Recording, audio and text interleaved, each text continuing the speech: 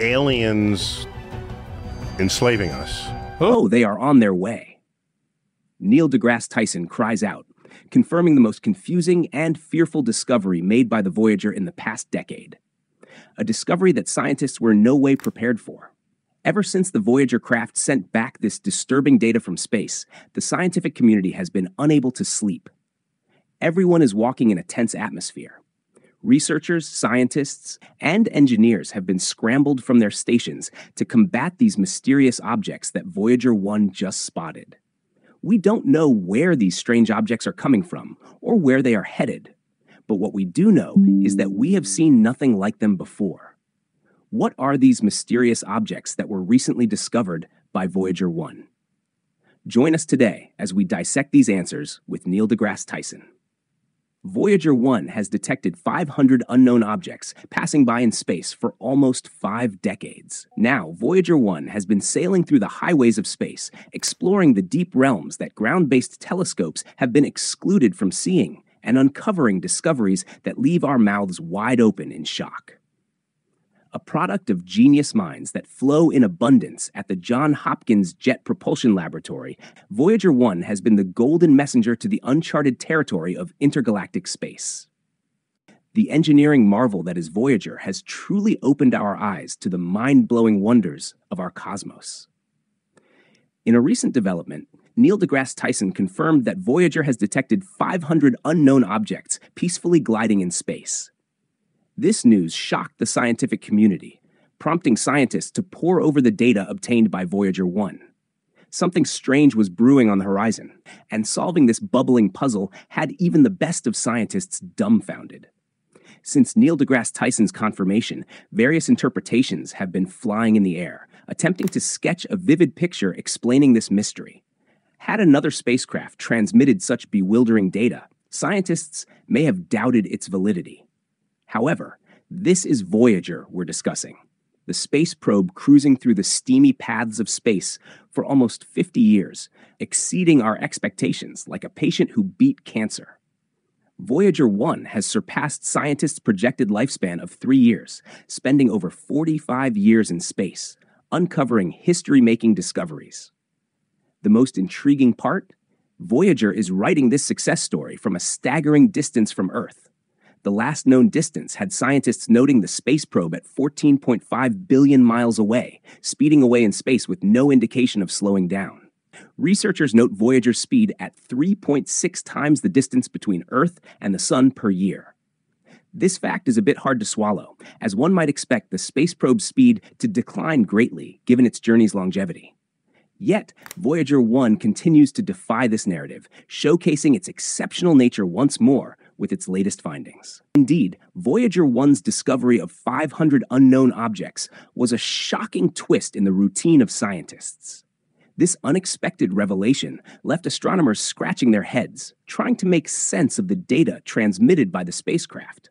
The sudden appearance of these mysterious objects sparked a flurry of activity among researchers, who were determined to uncover the truth behind this puzzling phenomenon. Initially, some scientists speculated that Voyager 1's age might be to blame for the anomaly. After all, the spacecraft had been exploring space since 1977, and it was not unreasonable to assume that its aging systems could be prone to errors. However, this explanation was quickly dismissed by experts who highlighted Voyager 1's remarkable track record of reliability and resilience. Despite its decades long journey through the cosmos, Voyager 1 continued to operate smoothly thanks to its redundant computer systems. Equipped with dual sets of command subsystems, flight data systems, FDS, and altitude and articulation control systems, ACCS, the spacecraft was able to seamlessly switch between systems and activate backup components as needed. This redundancy played a crucial role in preserving Voyager 1's functionality and ensuring its continued success in exploring the depths of space. Therefore, while the discovery of the unknown objects initially caused confusion and concern among scientists, Voyager 1 ultimately proved to be an invaluable asset in unraveling the mysteries of the universe.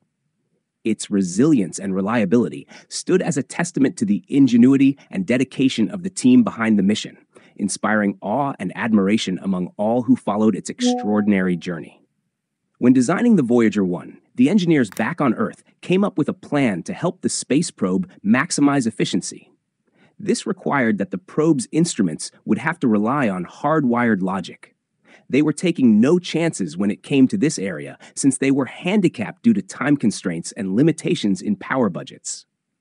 The electrical engineers decided the instruments would have to be developed using simplified systems that depended on hardwired logic.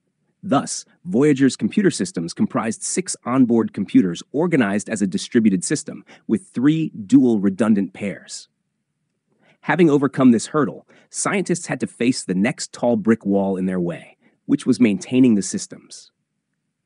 This intimidating height was surmounted by coming up with an ongoing power management plan. Here's where it gets a bit tricky. Power management entailed sustaining the operational capabilities of Voyager's computer systems. And if we're being honest, this is an arduous task to deal with given the limited power resources available on board the space probe.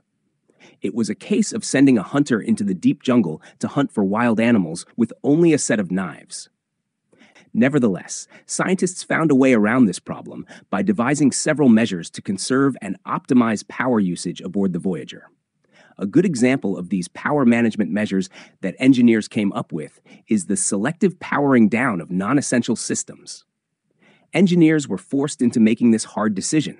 Hence, they employed a systemic approach to identify and deactivate components or subsystems that were not crucial for the spacecraft's primary mission objectives. We see evidence of this when we take a quick look at heaters associated with certain instruments that had to be switched off. These heaters were originally designed to maintain the instruments at specific temperatures, so they were operated or performed at optimum. However, the story had to be rewritten by activating because it greatly reduced power consumption on board the Voyager. This reduction in the spacecraft's power usage comes with a ripple effect, an extension of the Voyager's lifespan. It's a win win situation for everybody. Here's how the communication between both parties plays out. Whenever the mission control team at NASA's Deep Space Network sends a command to the Voyager, it travels as a radio signal at the speed of light. The Deep Space Network, DSN, is an extensive network of massive radio antennas strategically positioned across the globe that makes it possible for NASA to maintain communication with spacecraft exploring the far reaches of our solar system and beyond. The primary objective of this network is to facilitate two way communication between the Earth and deep space missions, alongside conducting radar and radio astronomy observations to widen our understanding of the universe. Whenever the Deep Space Network is transmitting data from the Voyager to the Earth, it often uses its channel 18 and usually makes use of frequencies 2.3 gigahertz. When we take a second look at this, we discover that when sending signals from the Earth to Voyager 1, a frequency of 2.1 gigahertz is used, and it occurs at the speed of light. As much as this traveling at the speed of light seems exciting, let's not forget the enormous distance separating both the probe and the Earth. Therefore, even at this supersonic speed, it takes the signal approximately 22 hours to reach the spacecraft. What this means is that after a command is transmitted, the mission control team has no choice but to wait for 22 hours before receiving any confirmation or response from the Voyager craft. This time delay explains why the mission team is very meticulous when it comes to the commands that they send to the Voyager.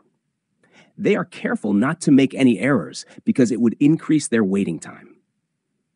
At the end of the day, they often spend hours reviewing commands and going over plans before they send them and initiate them to avoid issues and unnecessary delays.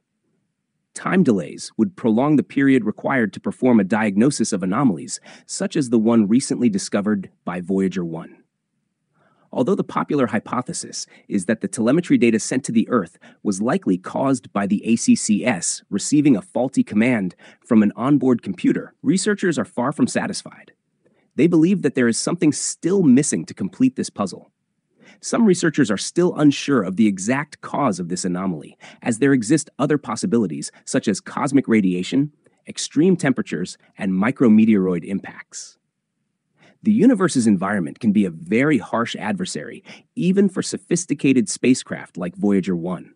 Moreover, since the Voyager craft is waxing old, it may have been a victim of the adverse and unforgiving space environment.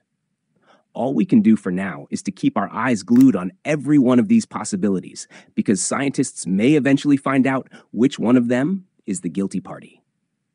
Thanks for joining us on this cosmic journey. Tell us your opinions in the comments section below. Don't forget to like, subscribe, and click the video on your screen for more mind bending content.